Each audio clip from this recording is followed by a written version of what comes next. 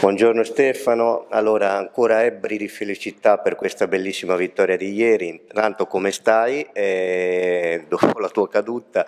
E invece venendo al mercato direi un giudizio sicuramente buono per tutti i movimenti di mercato che sono stati effettuati, eh, è forse eh, hai completato, ritieni che tutti i reparti ora siano completi oppure eh, mancata forse la ciliegina sulla torta magari con uh, l'arrivo di un difensore centrale che mh, mm, non è arrivato. E poi eh, a che punto siamo con i rinnovi di Bertola e, e Rezza.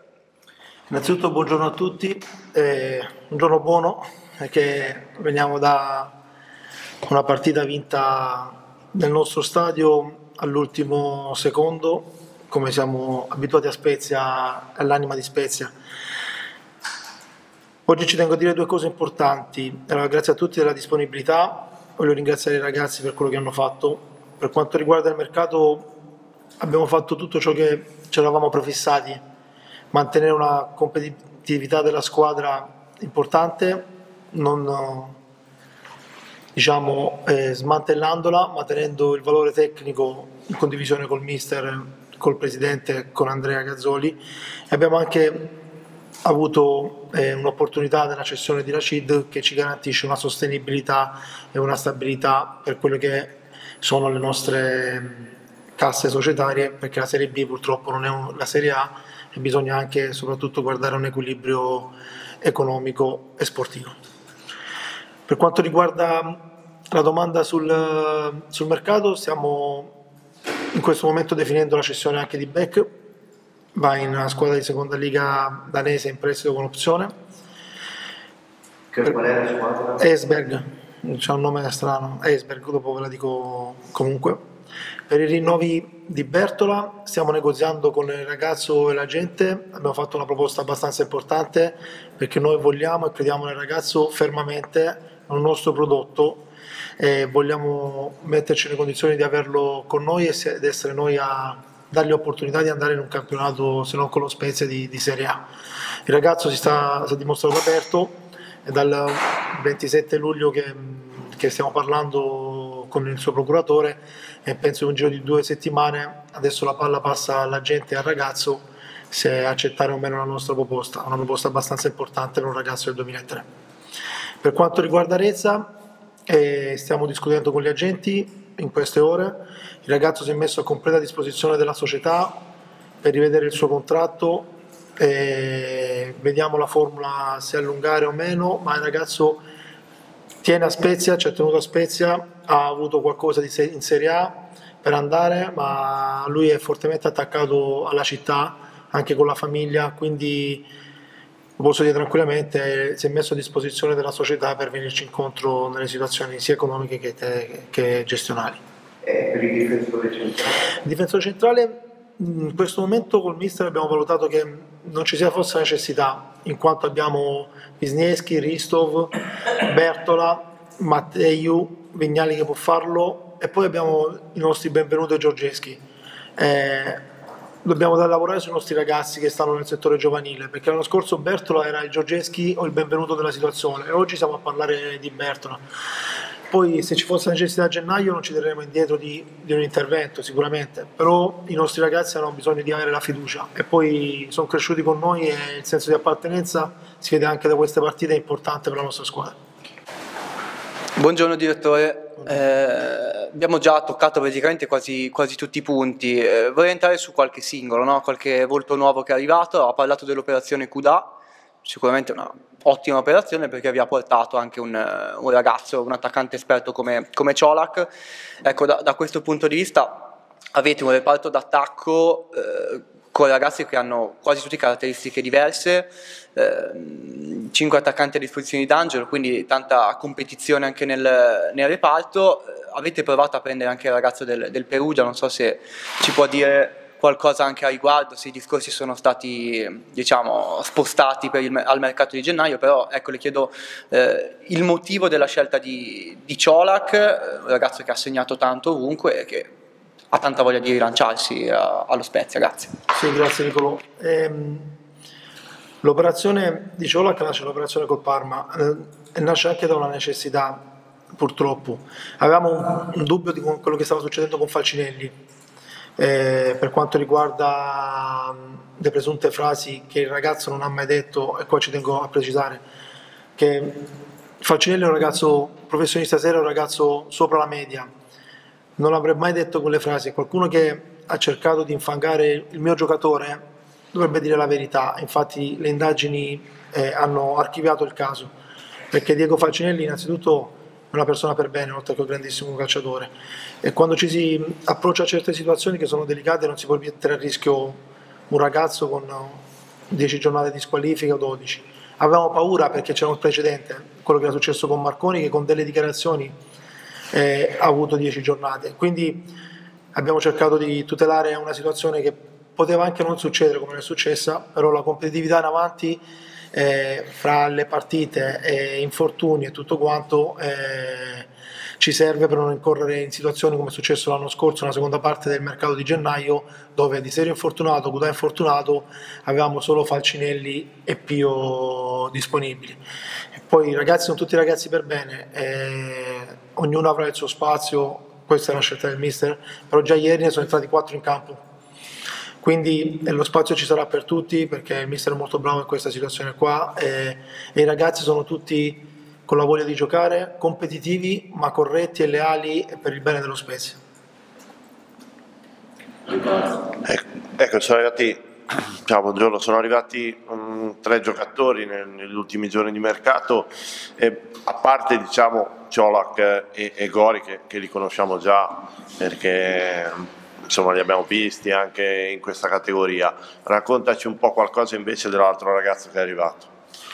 Da Lid Giampala, sì, Lid è circa tre mesi che lo cercavamo di, di, prenderlo. È un prospetto che deve avere un percorso di crescita perché è un 2005, però già è più pronto rispetto ad altri, ad altri giocatori. È un'operazione diciamo alla, alla CUDA più o meno, no? un ragazzo che viene da una situazione diversa col tempo giusto di inserimento, di farlo crescere, di capire l'Italia anche solo l'italiano, però è cresciuto sempre nell'Everton e ci permette di, di avere un, un, futuro, un giocatore credo importante per noi. Ha delle qualità non come Kuda, è una mezzala di palleggio e inserimento, e quindi ragazzo adesso abbiamo avuto la fortuna e bravura di toglierlo anche ad altre squadre in quanto era un anno alla scadenza del contratto e poterne essere una risorsa per noi. Ecco.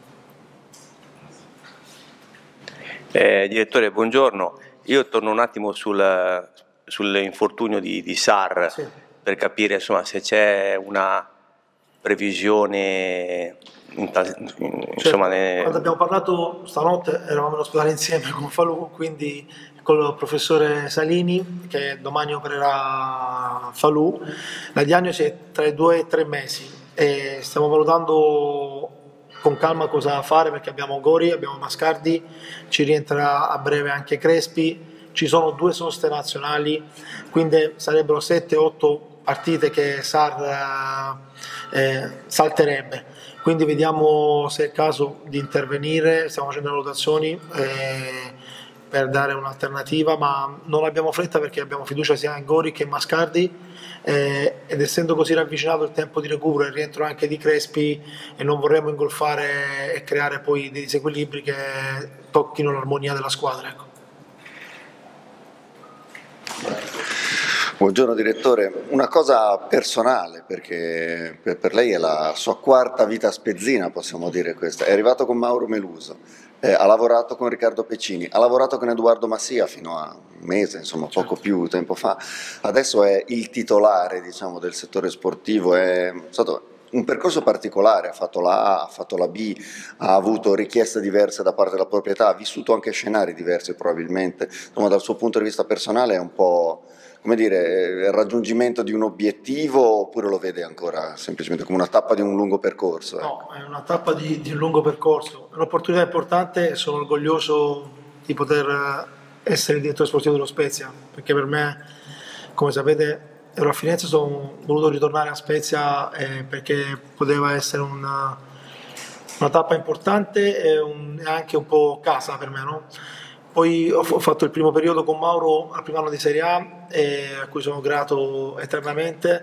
Eh, e mi è servito come scuola, nel senso essere vicino a professionisti come Meluso, Pecini e Masia ha arricchito il mio, il mio bagaglio di conoscenze e adesso che mi è stato affidato questa responsabilità e questo con me è molto orgoglio, quelle conoscenze più quello che io penso nella mia testa di, di poter strutturare, spero che servano per lo Spezia per fare bene. Ecco.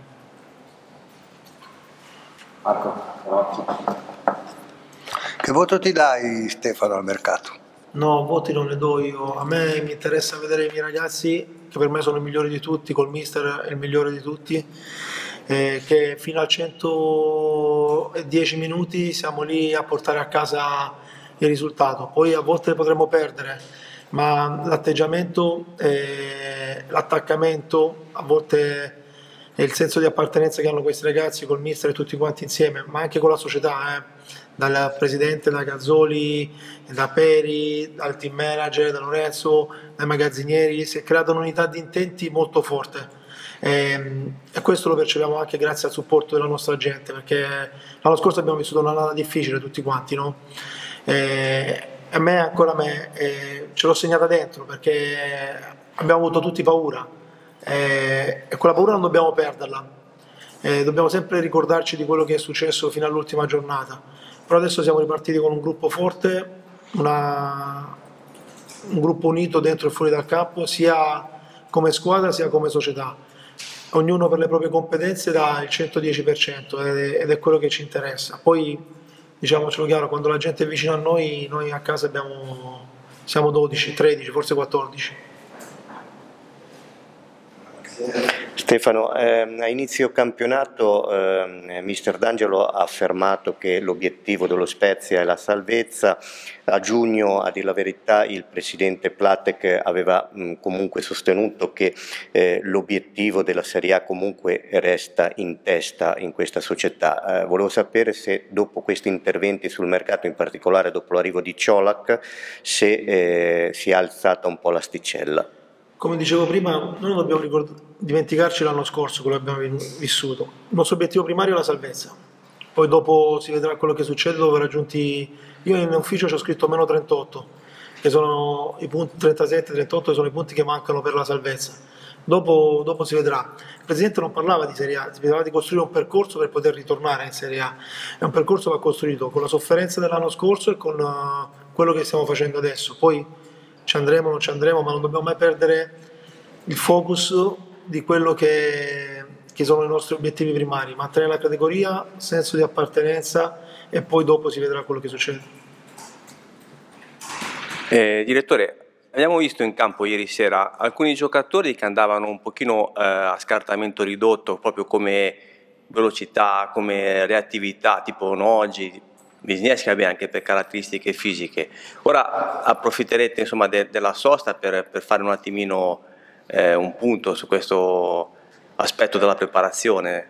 Sì, guardi, vabbè, Naggio ha giocato tutte le partite, probabilmente avendo così partite ravvicinate eh, ad agosto col caldo, post preparazione, ci sta che uno sia stanco e possa avere un calo di rendimento. Wisniewski rientrava dopo un anno ed era la seconda partita di fila in, in, in tre giorni, quindi va dato un, un, adattamento. Abbiamo una rosa secondo me adesso con delle ottime alternative perché per me non ci sono titolari riserve, abbiamo 26 giocatori in movimento che possono giocare tutti quanti, più i portieri. Questo ci permette in queste due settimane di respirare un po' e di ripartire poi con un calendario regolare. Ecco. Stefano, a proposito della domanda del collega, però il primo tempo bisogna riconoscere assolutamente il, i meriti del Cesena perché eh, insomma, ci sono anche gli avversari sempre, no? non è che si può sempre fare quello che si vuole. No, no, io sposo appieno quello che ha detto il mister, no? abbiamo fatto un risultato importante, abbiamo fatto dovuto a carattere, determinazione, non è stata la nostra miglior prestazione, ma la Serie B è questa, e ci sono anche le altre squadre, sono squadre forti, e noi però la cosa che dobbiamo focalizzarci è la mentalità della squadra. Poi purtroppo ci sta che una partita un avversario sia più bravo di noi, eh, perché se no succede anche al Real Madrid. Eh, il primo tempo non è stato dei nostri migliori, abbiamo sofferto tanto, però poi siamo rientrati e abbiamo rimesso in pista la, la partita e questa è la cosa bella della nostra squadra. Grazie. Grazie. Sì, direttore, classica domanda banale di, di fine mercato, c'è qualcosina che avrebbe voluto fare che non è riuscito a fare? No, abbiamo fatto tutto, come dicevi tu prima, Seghetti, eh, cioè qui il nostro amministratore delegato, ci abbiamo provato fino a, alle 11 di sera perché potevamo cogliere un'opportunità di un giovane richiesto da tanti, no? Eh, il Perugia si era messo a disposizione, ma poi a un certo punto non c'erano più i tempi tecnici per poter fare questa operazione perché, ahimè, purtroppo c'era, con il mercato aperto il Perugia giocava, quindi c'erano delle problematiche anche di tempistiche eh, sulla situazione. Non è né una questione economica né niente, è proprio una questione di tempi tecnici perché l'opportunità si è presentata nel tardo pomeriggio e poi purtroppo le dinamiche sono particolari. Ecco. In quel caso avete un'opzione, qualcosa sul giocatore per il prossimo mercato? No, è un ragazzo che seguiamo, come seguiamo altri giovani. Lì era un'opportunità importante per noi perché potevamo cogliere questa opportunità. Vediamo in seguito cosa, cosa succederà. Ecco. L'ultima domanda che ti voglio fare è su questo ragazzo che ieri, ieri si è preso anche la responsabilità di andare 10 minuti in porta. Mi sembra che sia un, uh, un, acquisto non solo dal punto di vista tecnico importante ma anche dal punto di vista umano perché probabilmente insomma credo che sia un ragazzo veramente eccezionale Soleri. Sì diciamo noi quest'anno io insieme ad Andrea Gazzoli eh, quando siamo partiti anche nelle scelte precedenti eh, abbiamo prima scelto le persone forse a volte con un po' di qualità in meno rispetto ad altri ma soprattutto con una mentalità e un valore morale importante Soleri è un ragazzo top, ha un senso, è stato già qui a Spezia lo dimostra il fatto dell'attaccamento alla, alla situazione, ma come Soleri abbiamo Risto, abbiamo Bandinelli, abbiamo Cassata, abbiamo Falcinelli, abbiamo Esposito, abbiamo tutti questi ragazzi che sono nella rosa con noi, hanno sposato al 100% Spezia prima, perché molti, ne sono arrivati 5-6 adesso, no? però molti sono quelli dell'anno scorso che da gennaio in poi abbiamo cominciato a fare un percorso col mister, è importante e, e ripeto, quello che ci è successo l'anno scorso tutti quanti dentro ci ha lasciato qualcosa. Ecco.